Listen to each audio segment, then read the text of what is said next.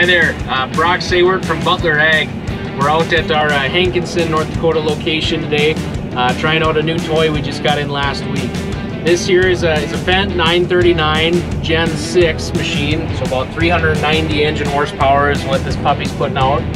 Um, the, the special thing about this machine specifically is that it's equipped with a with the reversing station option from the factory. Uh, so with the reverse station option, what you can do is take your take your workstation, your, your, your steering console and your seat, flip it 180 degrees, so now you're facing the rear.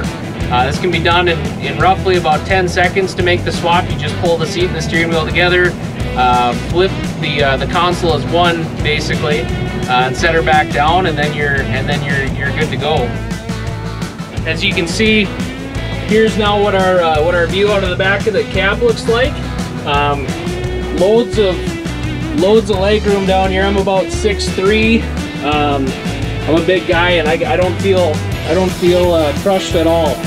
It's also very cool that we can we can kind of couple this feature uh, with with our with our hood camera that we offer, uh, as well as our teach-in headland uh, unlock as well. So, so the teach-in headland allows you to set up your boundary and then it'll make your headland turns for you uh, without the operator having to do anything.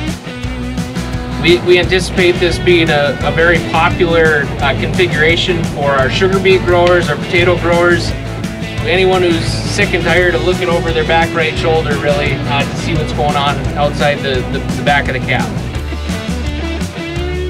If you have any questions about uh, this configuration itself or, or the Fendt line as a whole, please feel free to reach out to your local Butler customer account manager and uh, we'll figure out how to, how to meet the needs of your unique operation. Thank you.